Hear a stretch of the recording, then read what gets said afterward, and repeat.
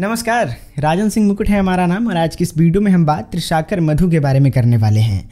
देखिए, social media पे जो इनका वीडियो वायरल हो रहा था, उनके पीछे, वायरल के पीछे हाथ इन्हीं महाशय का था। खैर, ये बातें हम किस बिहाब पे कह रहे हैं, वो हम आपको आने वाले कुछ मिनटों में बता देंगे, लेकिन उससे पहले हम आपसे एक छोटा सा निवेदन करना चाहते हैं कि इस वीडियो को ज़्यादा से ज़्यादा शेयर कीजिएगा, ताकि आपको कोई मूर्ख इतना आसानी से ना बना सके। दोस्तों सोशल मीडिया पर जब त्रिशाकर मधु का वीडियो वायरल हुआ और दिन तीन बीत गए तो त्रिशाकर मधु ने किसी भी तरीके से कोई भी रिप्लाई नहीं किया। उसके बाद कुछ इस प्रकार का पोस्ट डालती हैं, जिसमें पहले पोस्ट से ही यही पता चल जाता है कि वो सहानुभूति पाना चाहती हैं, जिसमें वो मरने की बात करती हैं। दूसरा पोस्ट आता है कि बिहार की हर एक हीरोइन जो हैं, वो होटल जाती हैं फ़िल्मों के लिए, गानों के लिए, अच्छे काम के लिए किसी किसी डायरेक्टर किसी किसी सुपरस्टार के साथ ताकि अच्छा काम मिले और इस तरीके से ही ये लोग आगे बढ़ते हैं। लेकिन आपने इन सारी चीज़ में एक बात नोटिस किया?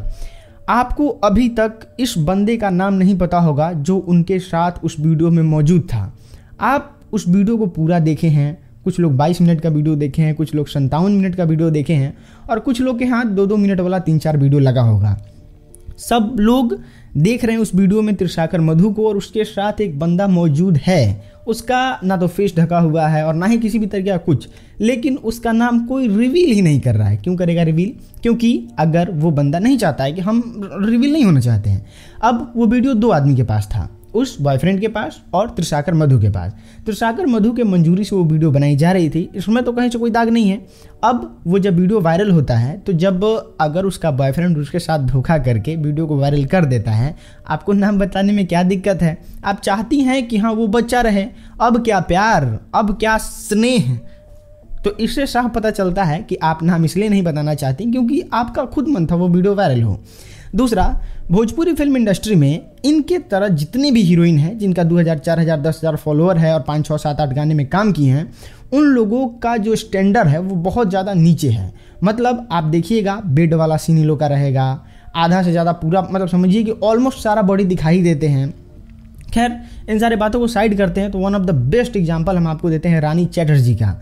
इन लोगों से लाख दर्जे अच्छी हीरोइन है बड़ी हीरोइन है फिर भी उनको अपना भलन पोषण करने के लिए इस तरीके के काम को करना पड़ता है। ओ टी टी प्लेटफॉर्म पे ये कुछ ऐसे वीडियो जो कि मस्त राम फ़िल्म का है, वो सीरीज़ का है, उसमें आप देख सकते हैं किस तरीके से रानी चटर्जी काम कर रही हैं। मतलब पॉर्न हंड्रेड परसेंट पॉर्न है ये।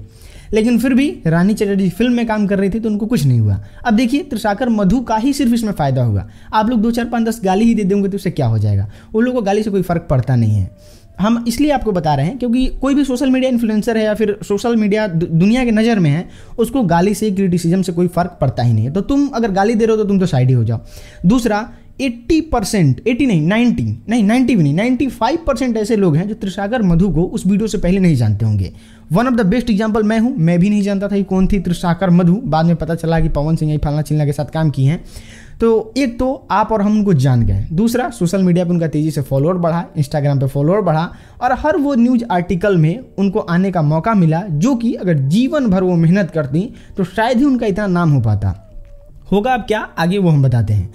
कुछ दिन के बाद सब लोग सारी बातें भूल जाएँगे और फिर आएगा त्रिशाकर मधु का एक बड़े सुपरस्टार के साथ गाना, जो कि आप देख ही सकते हैं। पवन सिंह हमारे बहुत बड़े सपोर्टर हैं, ये फलना चिल्ला, जो भी हो। तो ये जितना भी सबूत, जितने भी बातें इशारा कर रही हैं, वो इससे साफ़ पता चलता है कि त्रिशाकर मधु ने खुद से अपना वीडियो वायरल कराया था। खैर, आपकी क्या है राय नीचे कमेंट में बताइए। आपको क्या लगता है, वो भी नीचे कमेंट में बताइएगा। हम आपसे अगली वीडियो में मिलते हैं। तब तक लिए दीजिए इजाज़त। नमस्कार।